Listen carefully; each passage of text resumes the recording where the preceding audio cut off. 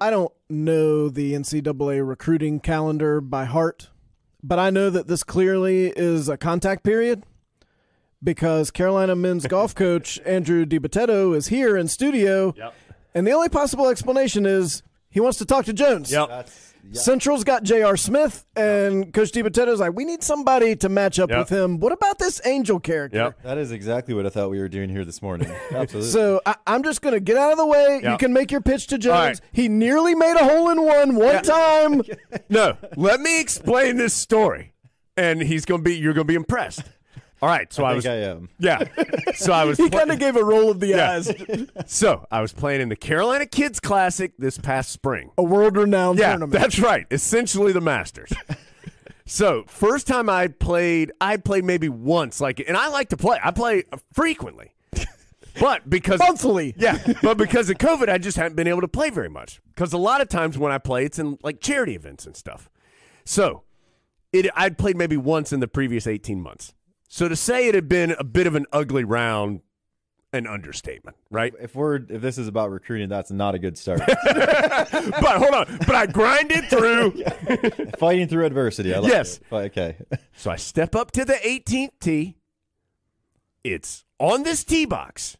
Me, Colin Bates, former pitcher here at Carolina, Tyler Zeller, Antawn Jamison, Tyler Hansbrough. Okay? I think he's trying to say he can handle pressure. That is exactly what I'm trying to say. Par three, 175 yards, totally over water. no, Adam, is, isn't this true?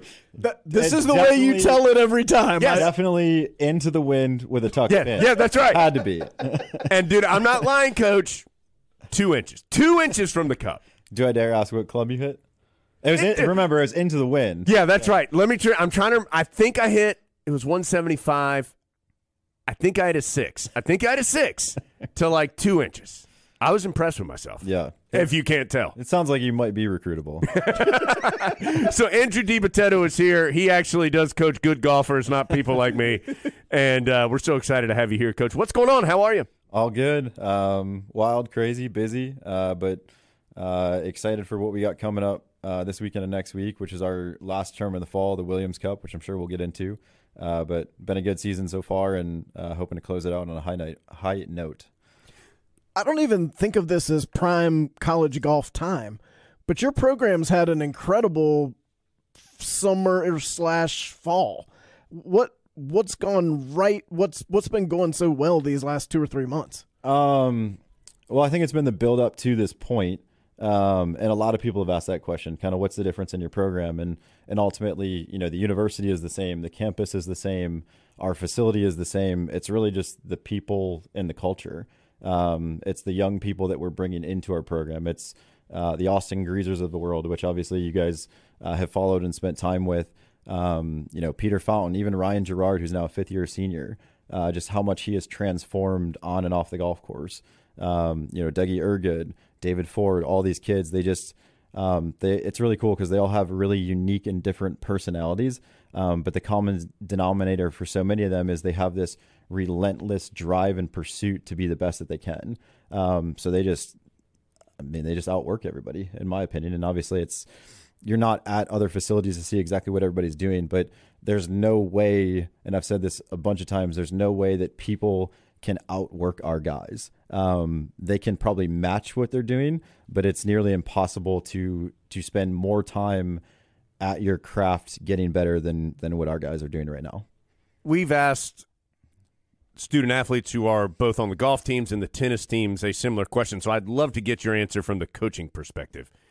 How do you foster the team mentality in a sport that is so individual? Yeah, that is a great question, and it's it's interesting because I just was on the phone with one of our guys late last night talking about this. Um, and especially for freshmen when they first come in, it's really weird because it's this individual sport and it's all you've ever known. And sure, maybe you play high school golf, um, you know, which is great, but it's not anything really close to what we do in a team setting. So you take this individual game where all you've done your entire life is focus on you, and all of a sudden you come together and you're supposed to compete as a team, uh, and it just brings a lot of really interesting team dynamics into play.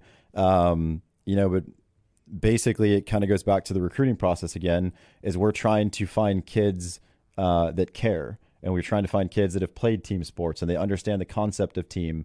Um, and we want them to focus on their games as individuals you know but we also want them to care about what we are doing as a group. And if if you talk to our guys and you ask them questions right now i think you'll find and this is pretty rare in today's world which is unfortunate but our guys would rather bring home a national championship as a team to Chapel Hill than have individual success. And now they want to have individual success.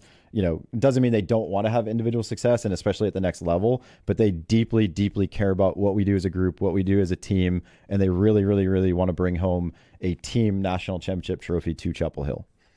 Are there characteristics that you've learned to look for that either, oh, that will definitely fit in, or conversely, oh, that that's a red flag. We have learned that that will not work here in this environment. I think a big thing is just kind of finding out their background. Like, did they play team sports? How long did they play team sports?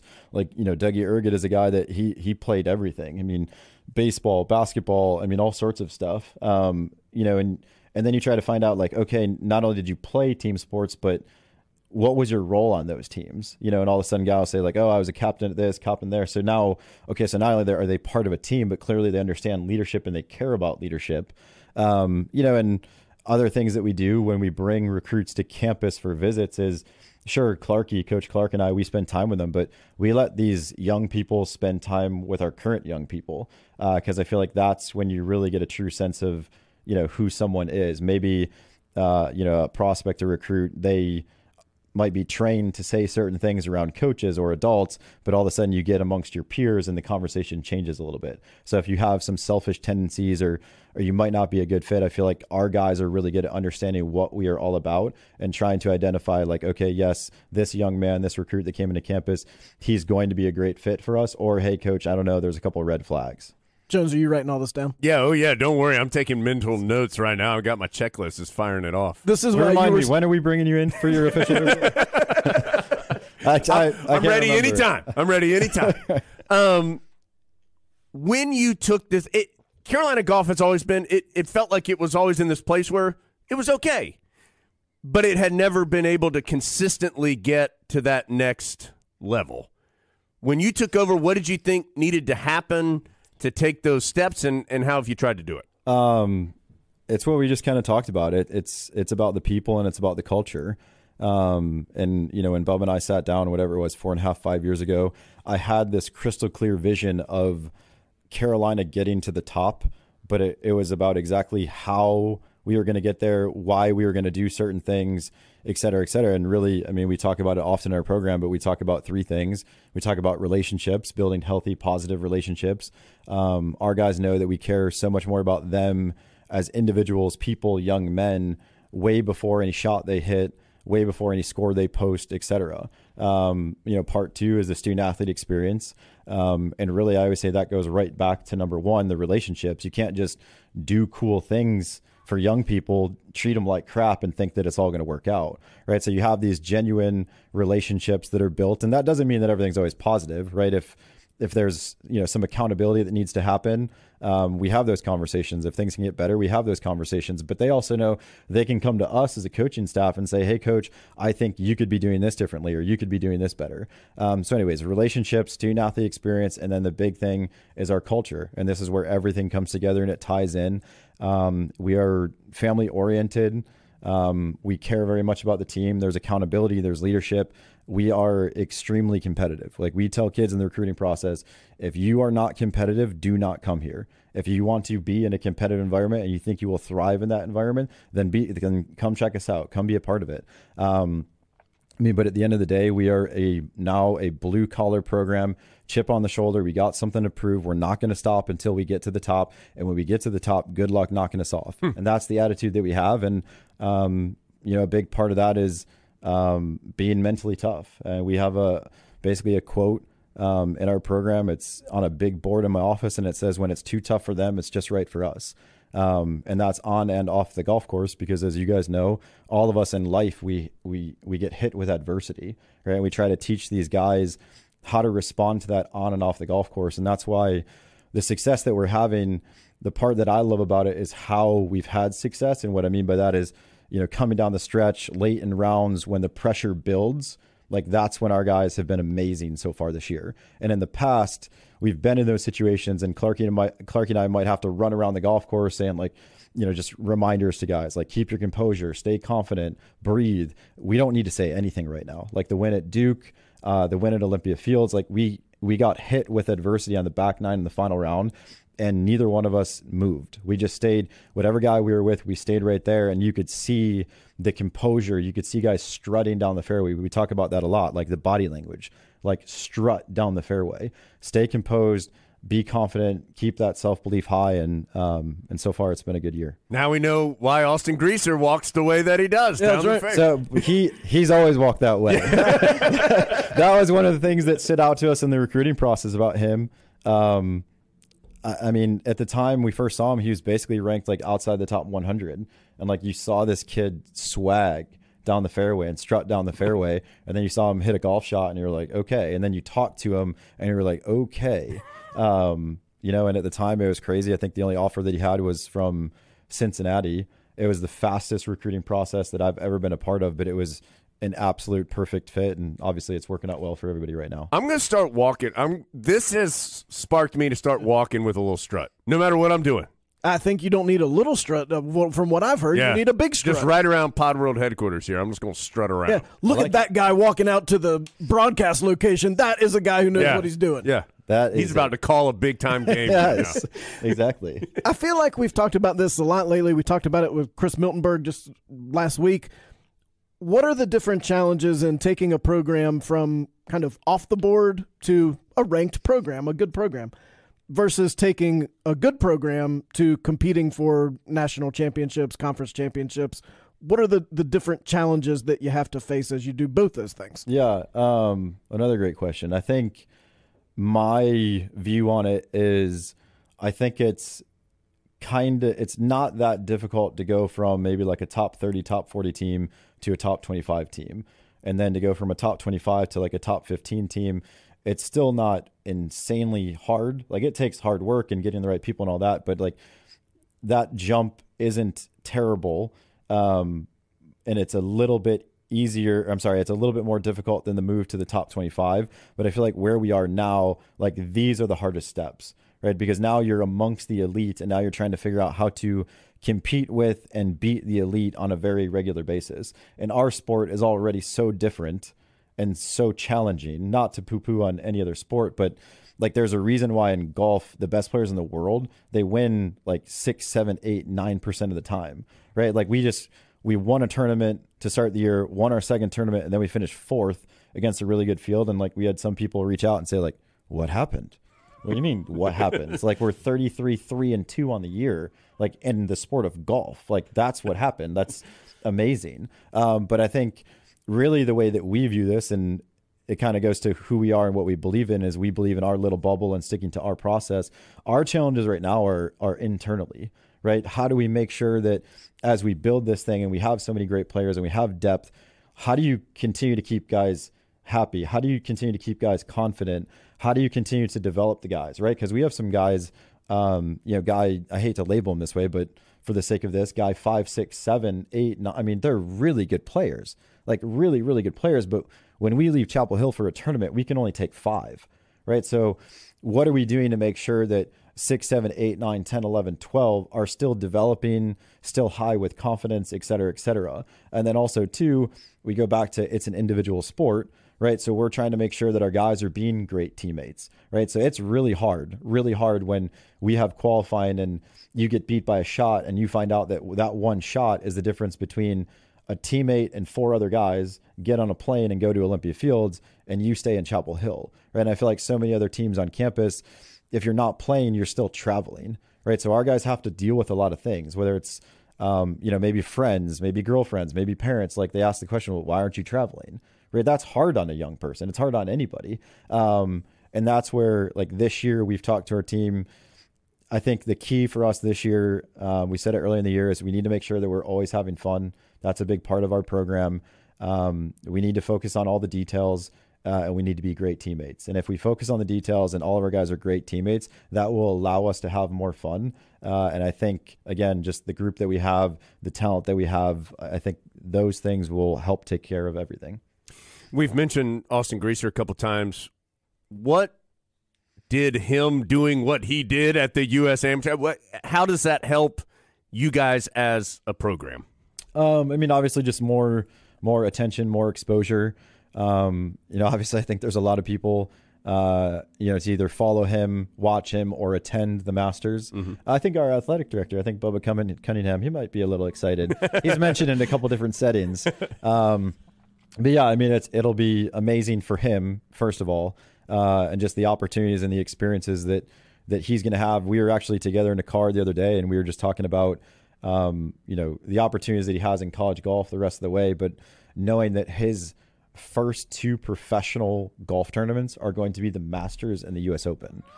like think about that. And like where our brains go to is like obviously you hope that he plays great and he has success, but like the learning that's going to take place, like and you're going to go to the Masters, which is a totally different major championship than the US Open right? So he's going to leave those two places thinking like, all right, I am really good at A, B, and C, but if I want to play at the next level and have success at the next level, maybe I need to work on you know X, Y, Z.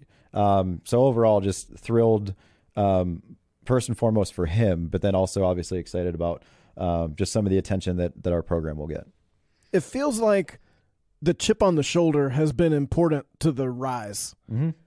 As people start to say nicer things about the team and the program and the individuals and they get more things and get to do more cool stuff how do you maintain the chip um clarky and i are pretty good at making sure that we can always find a chip um, and and again too the other part is just the competition that you have internally uh, you know, you, you, look at what look just look at the way this year has played out. Ryan Gerard, fifth year senior, wins Duke's tournament, right? And like again, all of our guys are very happy for Ryan Gerard, but they also got beat by Ryan Gerard. They don't want to get beat by anybody, right? So then all of a sudden, we literally got back from Duke's tournament. The van parked, and so many of our guys grabbed their bags, walked to the other side of the building, put it down on the range, and went to work because they were upset.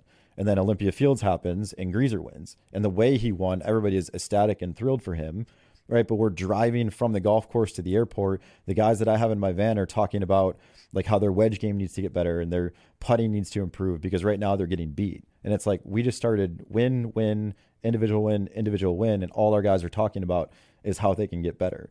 Um, so again, I think it goes back to the young people that we have in our program, um, just being intentional and purposeful in recruiting.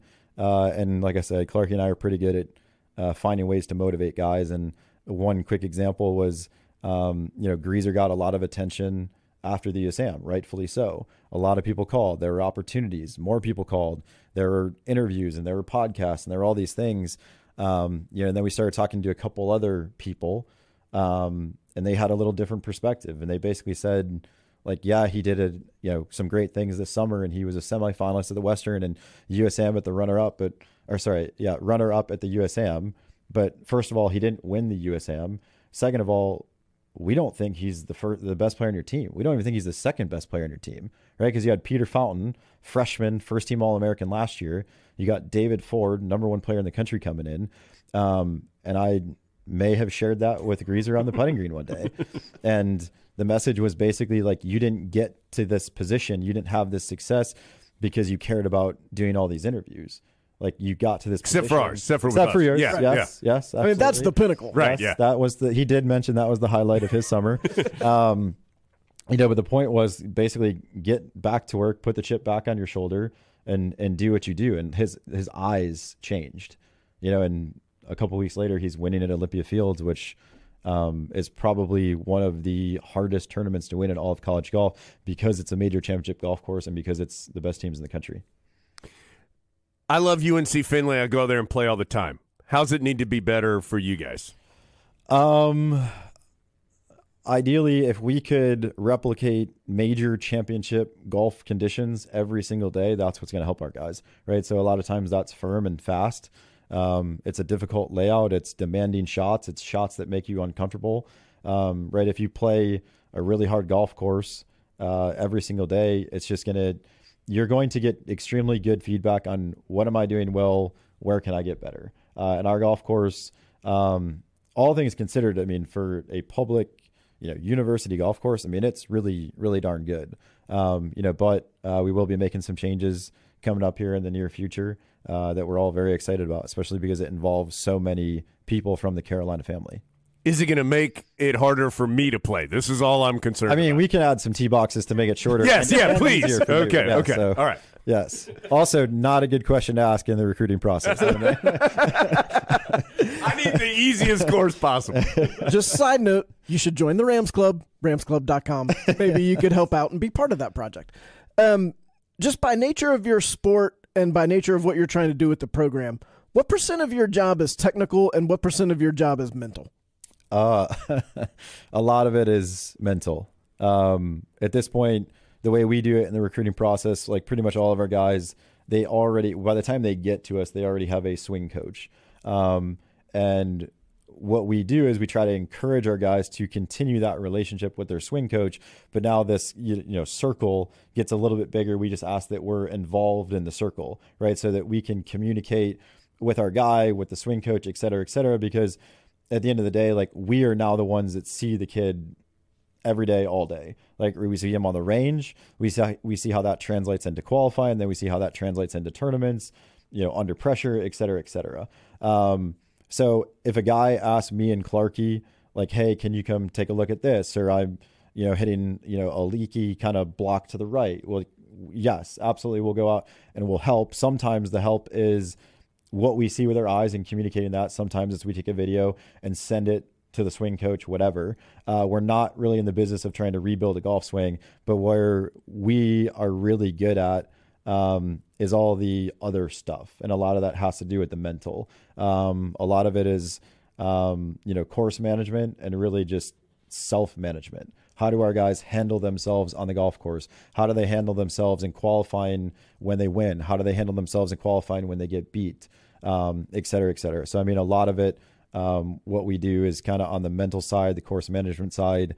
Uh, Clarky is really, really, really good at that stuff, especially kind of like the sports psychology thing. Um, but I feel like we're we are big time on self belief and confidence, not just on the golf course, but in life in general. That's a, a big time message that we try to hit home with our guys. How do you how do you get the trust? I mean, they they've got this swing coach who essentially got them to where they are. How do you get to the point where you it it's not awkward, I guess, because that's their guy. But now you're their guy. But you're kind of both their guy. Yeah.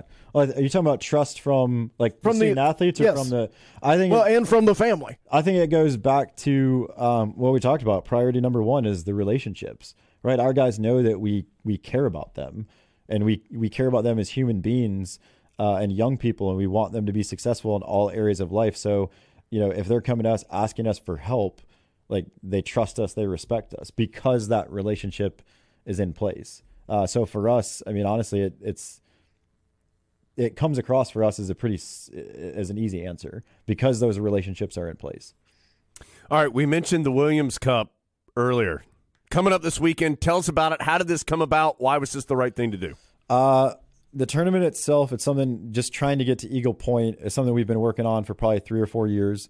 Uh, we want to try to have one of the best, most elite tournaments in all of college golf. Uh, and a lot of times, in order to do that, you need to have an amazing golf course, which is exactly what Eagle Point is. Uh, it's a top 100 golf course. The PGA Tour went there a few years ago. All the guys on tour raved about it. Um, it is difficult, it is demanding, but it's also fair. Uh, so it's going to be a great test. All the players are going to learn about their games late in the semester, right? So then you go into the off season kind of knowing what you need to work on. Um, and then we had to come up with a tournament name, um, and we, you know, we threw out some things, had some ideas, and then obviously, um, you know, with with Coach Williams and his announcement, um, just it seemed like it was the right thing to do was ask him and Wanda if they wanted to be a part of this. And you guys know this, and I'm assuming the people listening by now they know this, but um, what the two of them mean to this university and this athletic department and what they do for this university and for this athletic department, I mean it, it's it's insane. Um, and I think people know now, but like financially they support every team on this campus every single year. I mean, and for us, it's special too because uh, I think it's fair to say everybody knows this. He's kind of a big golfer, um, right? And so we've been so fortunate and so blessed because he's around us quite a bit. Like he's around me and Clarky quite a bit, even during their season. His one of his kind of release points was he would, you know, he would sometimes make his laps around campus, but sometimes he would come visit us and and hit balls for 30 minutes. Um, you know, so we just built up this amazing relationship, and um, it just seemed like the right thing to do to have a conversation with him to see if we could recognize him and Wanda in this way. Uh, and it's it, honestly, it's been very special and should be a great thing this weekend. You're right that he doesn't talk about it a ton, but I think people have slowly caught on to the idea that this is someone who's really been supporting all these teams, not just going to games and matches and things like that, but actually writing checks. Mm-hmm.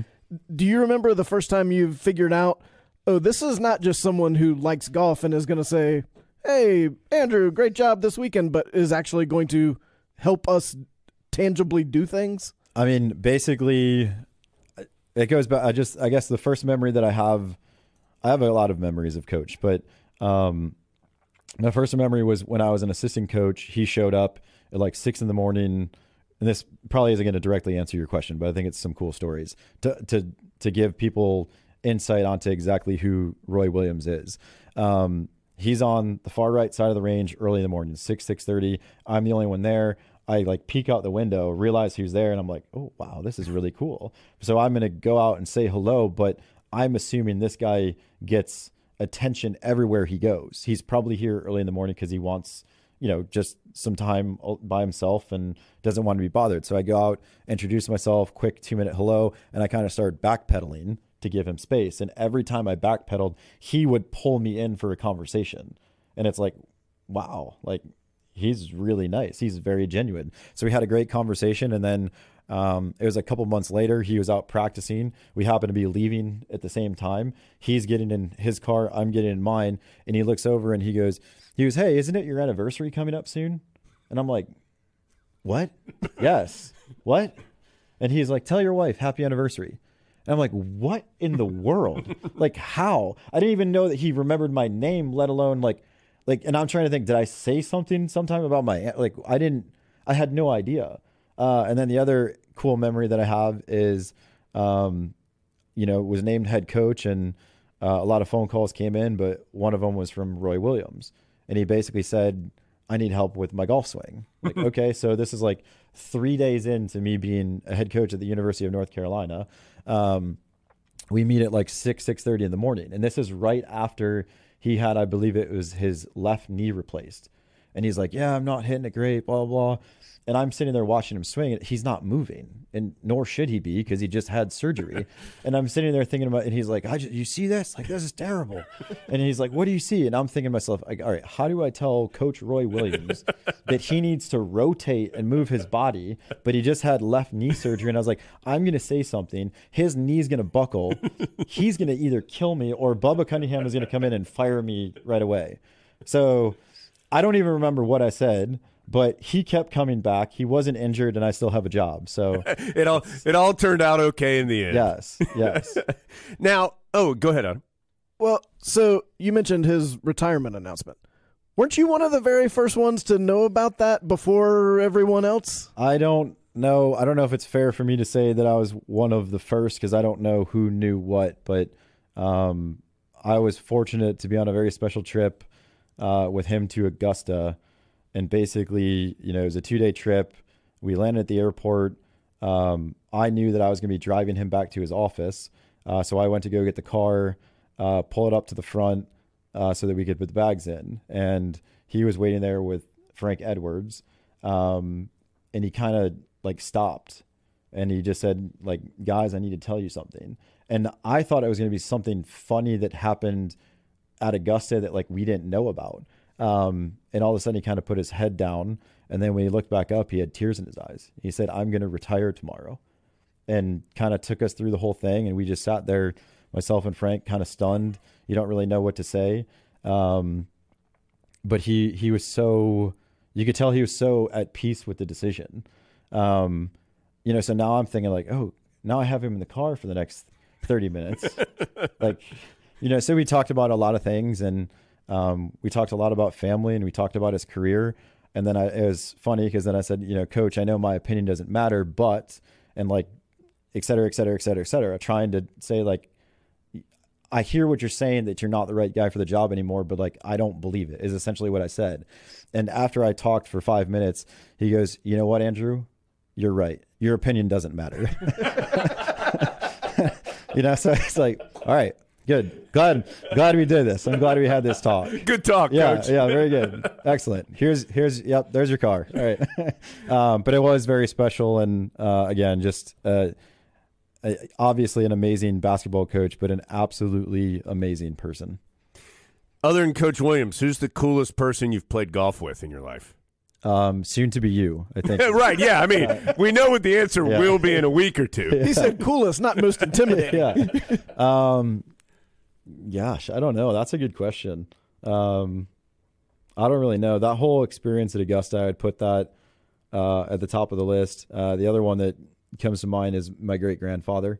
Um, was just really fortunate growing up Rochester, New York, that um, my great grandfather, uh, my grandfather, my uncle, and then obviously my parents, they were all members at the same course. So uh, whenever we were home for a weekend, which wasn't very often, um, all of us would have an opportunity to to play golf together. So that's something that that's that will always be special to me.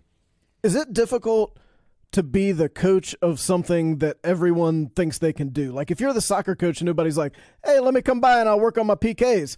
But if you're the golf coach, nobody has any problem. Like, "Hey, let's go out and play around. I'm really good." Yeah, no, I think it's one of the the fun parts about our sport um, is it, it just what it's what connects people. Uh, and there's obviously not too many sports that you know.